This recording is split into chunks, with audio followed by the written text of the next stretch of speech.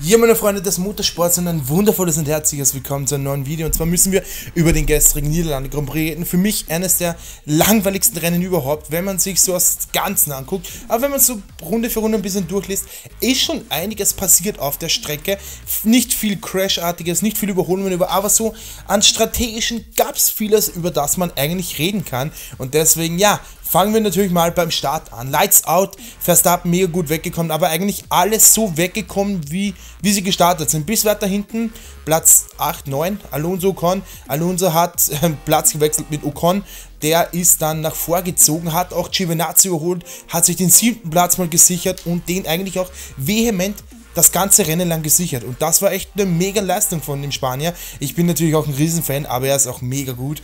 Ähm, kann man echt nicht sagen. Dann gehen wir in Runde 3. Äh, es raucht aus ähm, Ricardos Heck. Man dachte zuerst, es wird ein angehender Motorschaden. Auch Gasly, nein, ich, äh, zu Not, ich weiß nicht genau, wer hinter ihm war. Äh, er hat auf jeden Fall gesagt, ich glaube, es war zu Noda.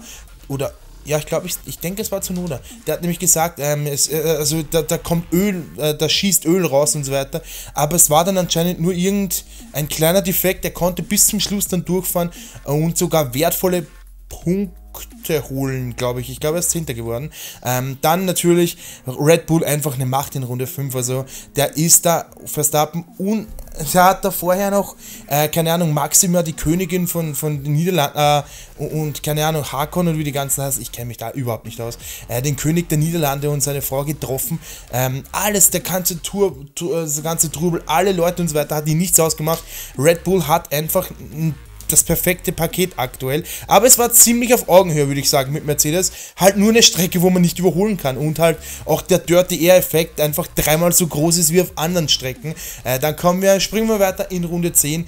Ähm, durch einen harten Verbremser hat dann leider Perez, der eh schon ohnehin aus der Box starten musste, weil sie gleich mal den vierten Motor eingebaut haben, weil er sowieso gestern im Qualifying in Q2 ausgeschieden ist, weil er zu langsam war, haben sie sich gedacht, also am Samstag, sorry, haben sie sich gedacht, wir hauen gleich die Power Unit rein und starten aus der Boxengasse. Hat sich auf jeden Fall als sehr, sehr gute Idee rausgestellt. Nur halt leider, ähm, ja, beim, wie er Mazepin überholen wollte, hat er sich in den Bremsplatten gefahren und musste dann nochmal reinkommen. Runde 14, wir gehen rein. Das erste richtige Überholmanöver, wirklich in Runde 14. Latifi, der Mazepin in Kurve 1 überholt hat. Ähm, Ihr habt auch immer hier wieder die Bilder, seht ihr. Ähm, dann 19. Der einzige wirklich, der Rennen gefahren ist, muss ich sagen, war Sergio Perez an, an diesem Tag, gestern. Äh, der hat sich da vorgekämpft. Äh, Runde 16 an Mazepin vorbei, natürlich nach den Boxen. Runde 19, dann an Latifi vorbei. Er ist ein Run, tak, tak, tak, tak, tak.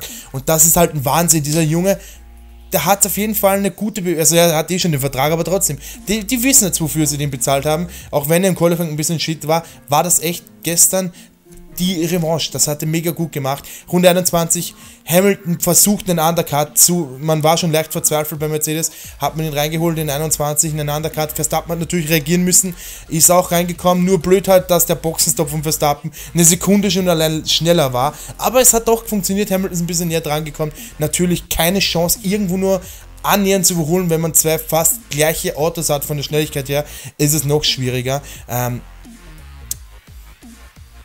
nachdem man sich bei, McLaren, äh, bei Mercedes hat man sich dann dazu entschlossen, ja, wie soll ich sagen, Bottas zu opfern der WM-Willen. Äh, man hat ihn dann immer länger fahren lassen. Bei Runde 24 dann hat er schon gefunkt, es geht nicht mehr, es geht nicht mehr. Und dann der Abstand wurde immer kleiner.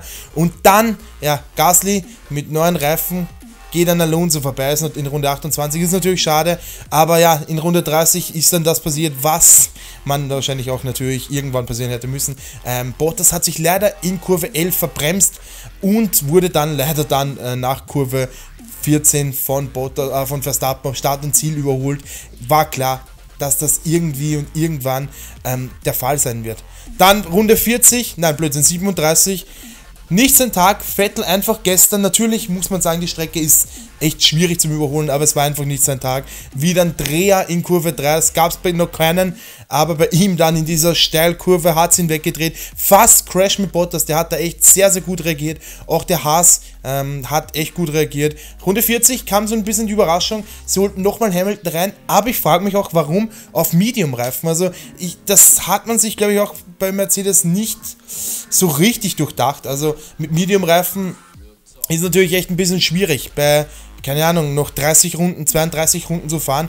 Äh, Verstappen hat natürlich dann auch darauf reagiert, aber der Undercut ist leider fehlgeschlagen. Also Verstappen hat es natürlich vorher wieder rausgeschafft. Der Undercut ist fehlgeschlagen, weil halt, ja, wie soll ich sagen, Hamilton im Verkehr stecken geblieben ist und das war halt ja echt nicht so ja, optimal getimed von Mercedes. Da kann man echt Kritik äußern, weil das war dumm. Also das war echt dumm. Die komplette Strategie von Sichern viel zu früh angesetzt. Also wenn man das in Runde 50 macht, sage ich, ja, das ist eine gute Idee. Man kann dann auch ein bisschen Reifen verheizen. Aber dann bis in die letzte Runde zittern, ob sich das überhaupt mit den Reifen ausgeht, ist dann echt nicht sehr gut von Mercedes durchdacht gewesen. Runde 43, Norris ist wirklich 43 Runden lang mit dem gleichen Satz Reifen gefahren, bis er sich dann den neuen geholt hat. Äh, 44 Mazepin musste abstellen, ist ähm, nichts gegangen mehr. Dann 51 der nächste. Äh, no Power, Yuki Tsunoda musste auch abstellen. Also echt alles andere ist gut seine Season bis jetzt. Dann Perez ähm, geht an Norris äh, vorbei. Aber wie auch sagt, nicht gerade ein besonders faires Überholmanöver, ähm, weil in die erste Kurve rein wollte Perez außen. Norris hat in den Spiegel geguckt und ist dann einfach noch rübergelenkt, dann Vorderreifen und Hinterreifen. Hätte schlimm ausgehen können, ist es Gott sei Dank nicht. Deswegen, ich will auch keinen verurteilen oder so. Ähm, und nachdem man Bottas wegen den Grip-Problemen, also man, man hat das dann natürlich so gesagt, man, er hat, er hat ähm, Grip verloren und so weiter, war natürlich nur ein Vorwand, dass man ähm, genug Polster hat im Fall von, wenn Perez in die Box gekommen wäre, um nochmal Hamilton die schnellste Rennrunde zu stehlen. Ähm, ja, man hat dann noch gesagt, ähm, ja, äh, Bottas fahrt nicht die schnellste Rennrunde, Hamilton braucht die für die WM. Äh, das hat man ihr aber zu spät gesagt und er hat dann noch abgebremst, aber hat leider nicht, äh, er hat es trotzdem gefahren. Das, so schnell war der dann natürlich am Ende und ja, die, die darauf folgende Konstante war natürlich, dass sie dann leider auch Hamilton reinholen mussten und der dann noch auf Rot ging. Natürlich hat er sich in der letzten Rennrunde die schnellste Rennrunde geholt, aber ein bisschen untergegangen in, in diesen ganzen Turbulenzen ist auch, dass Fernando Alonso, sein Landsmann, Carlos Sainz Jr. in den letzten Runden, ich weiß nicht mal genau in welcher, ähm, überholt hat und sich den sechsten Platz gesichert hat. War natürlich eine Mega-Leistung und Verstappen hat dann das Rennen vor Bottas, äh, vor Hamilton und Bottas gewonnen. Ähm, ja, wir kommen ein bisschen, wir gucken uns wir gucken uns hier jetzt mal äh, die Platzierungen an. Verstappen vor Hamilton und Bottas mega gut, alle drei gefahren. Und die Abstände sind halt echt krass, wenn man sich das ansieht. Bottas sogar 56 Sekunden hinter äh, Verstappen. Und äh, natürlich, die waren ja nochmal beide in der Box und deswegen ist es auch so hardcore. Aber trotzdem, das sind Zeiten wie in den 80er, 90er Jahren, wo die da überrundet wurden. Ähm, Schumacher dreimal überrundet. Dann alle bis auf den äh, bis die Top 3 sind überrundet worden. Und das ist halt eine Macht auf so, aber ist aber auch klar auf so einer Strecke, die schnell ist. Äh, war ja auch in, in in Bahrain so. So, dann Gasly, Leclerc und Alonso, wie gesagt, auf 6. Zwischen den Ferrari Sainz dahinter. Perez noch 8. Platz geschafft und der Drive of the Day geworden. Ist aber auch für mich der Drive of the Day geworden. Ocon und Norris. Dann Ricardo knapp nicht in. So, dann kommen wir weiter hinten zu Stroll und Vettel. Ja, man muss sagen, ähm, die ersten Martin waren einfach nicht bei der Musik dabei. Also, ich habe es gemerkt, die waren einfach äh, auch, ja, natürlich teilweise auch ein paar Fehler von Vettel und so weiter. Aber trotzdem, das ist, glaube ich, nicht das Ziel, wo die hinwollen. Die Strecke passt dann auch eher so zu Alpha Tauri und zu den anderen. Aber gehen wir ein bisschen schneller durch. Giovanazzi, naja, okay. Dann Kubica, natürlich der Einsprung für Kimi. Hat gutes Rennen abgeliefert und ja, ist auch circa auf Augenhöhe mit, Kubica, äh, mit äh, Giovinazzi gewesen. Äh, Latifi, Russell, Schumacher kann man nicht sagen, ja, Mazepin ein bisschen dumm, aber das ist eigentlich eh Standard, dass die ein bisschen ähm, Mama Mazepin. Wir kennen das Ganze schon. Und ja, ich würde mal sagen, wir gehen mal zu den Noten. Äh, nein, zuerst gucken wir uns noch den WM-Stand an. Und da gibt es ein paar Wechsel. Unter anderem verliert ähm, Hamilton die Weltmeisterschaftsführung gegen Verstappen mit drei Punkten Rückstand. Dahinter Bottas, der eigentlich ja nicht mehr bei der Musik dabei ist. Der ist über 100 Punkte hinten. Und ja, der ist dann nicht mehr mit dabei.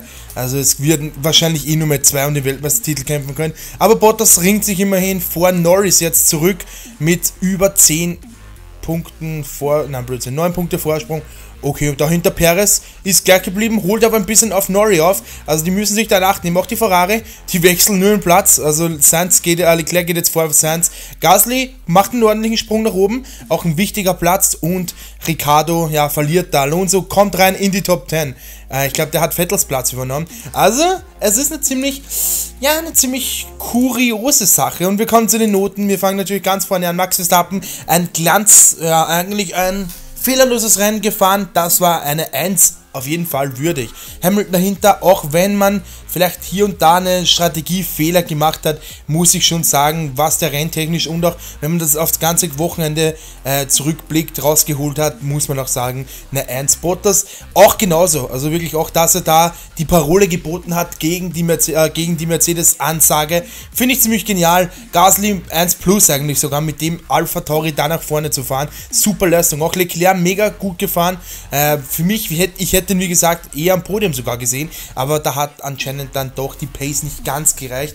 Ähm, auch eine Ernst auf jeden Fall. Alonso super gefahren, dass er so gerade noch den Ferrari geholt hat, auch eine Ernst. Sainz ein bisschen schwach dieses Wochenende. Also wirklich, der hat da echt gut ausgesehen und wenn man sich ansieht, dass Leclerc da echt viel, viel weiter weg war, also locker so 20 Sekunden, muss ich sagen, ähm, Sands für mich nur eine 2 auf jeden Fall. Dann Perez, auch eine 2, weil im Qualifying, er hat sich ordentlich schwierig gemacht, auch mit den Bremsplatten, also der hätte noch weiter vorne landen können, wenn der vielleicht noch ein bisschen besser gefahren wäre. Ocon eine 2, super gefahren, mega. Norris eine 2, also der war auch im Qualifying, da war irgendwie nichts, aber auch bei Ricardo äh, eine 3. Also die McLaren dieses Wochenende echt schwach. Und ganz besonders echt Ricardo wieder mal. Leider, leider, leider. Stroll eine 2, Vettel eine 4, muss ich echt sagen. Weil Vettel einfach richtig ein richtig schlechtes Wochenende hat. Auch bei der, beim Qualifying nur 18. geworden und so weiter. Also das war nichts bei ihm. Wirklich, das war echt, ich muss es sagen, scheiße.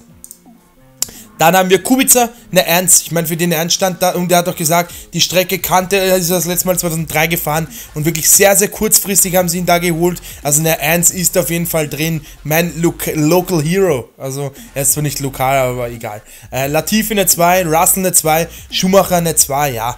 Ich meine, Basic. Auch wenn er da ein bisschen gegen Mazepin einstecken musste oder ja, besser gesagt, richtig aneinander geraten ist mit ihm und ihn auch gesagt hat, so, ähm, äh, wir werden keine Freunde mehr, ist das okay. Vielen Dank fürs Zugucken. Ähm, nächstes Mal geht schon wieder in diese Woche schon wieder Race Week. Es geht ein Parco di Monza in Italien. Ferrari Heimat. Ich würde es natürlich feiern, wenn es ein Ferrari auf die, aufs Treppchen schaffen würde, denke ich mir aber nicht. Deswegen sage ich mal auf jeden Fall, mein, mein Prediction, meine Vorhersage kommt erst zum, gegen das Wochenende hin. Abonniert den Channel gern kostenlos, macht kein Däumchen rum da. Und ja, wir können auf jeden Fall natürlich auch ein bisschen mehr trocken. Äh, kam ja auch letztens erst die Prediction, habe ich auch oben verlinkt. Ähm, Schaut auch unbedingt gern vorbei. Vielen Dank fürs Zugucken. Morgen kommt das nächste Video. Auch auf TikTok kommen werden wir auf ein paar Sachen reagieren. Bis dahin, danke fürs Zugucken und ciao.